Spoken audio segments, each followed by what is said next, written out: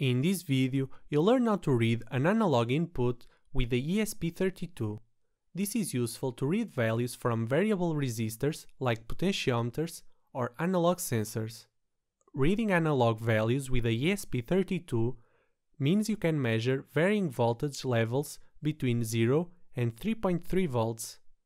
The voltage measured is then assigned to a value between 0 and 4095 in which 0 corresponds to 0 and 3.3 volts corresponds to 4095. Any voltage between 0 and 3.3 volts will be given to the corresponding value in between. Reading an analog input with the ESP32 using the Arduino IDE is as simple as using the analog read function that accepts as argument the GPIO you want to read. The ESP32 supports analog measurements in 18 different channels, but only 15 are available in the DevKit V1 DoIT board. These are the ADC pins. Grab your ESP32 board pinout and locate the ADC pins. These analog input pins have a resolution of 12 bits. This means that when you read an analog input, its range may vary from 0 to 4095. To see how this works, let's make a simple example to read an analog value from a potentiometer. Wire a potentiometer to your ESP32 by following this schematic diagram. Note that the middle pin of the potentiometer is connected to GPIO34. Copy the code provided to your Arduino IDE. In the code, you start by defining the GPIO the potentiometer is connected to in this example GPIO34.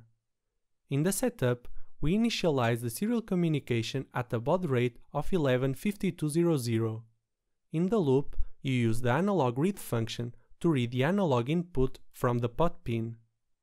Upload the code provided to your ESP32. Before uploading any code to your ESP, always check you have the right board and COM port selected. Open the serial monitor at a baud rate of 115200. Rotate the potentiometer and see the value is changing. As you can see, the maximum value is 4095 and the minimum value is 0. In summary, the ESP32 DevKit V1 DoIT board has 15 ADC pins that you can use to read analog inputs. These analog input pins have a resolution of 12 bits, which means you can get values from 0 to 4095. Finally, to read a value in the Arduino IDE, you simply use the analog read function. I hope you like this project. If you want to learn more about the ESP32, take a look at my course, Learn ESP32 with Arduino IDE. This is a practical course where you'll learn how to take the most out of the ESP32 using the Arduino IDE.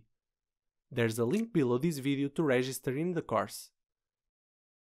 Thanks for watching and don't forget to subscribe.